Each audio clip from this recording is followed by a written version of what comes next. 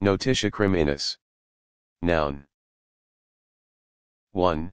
Law, a notice conveyed to a prosecutor that a crime is alleged to have occurred.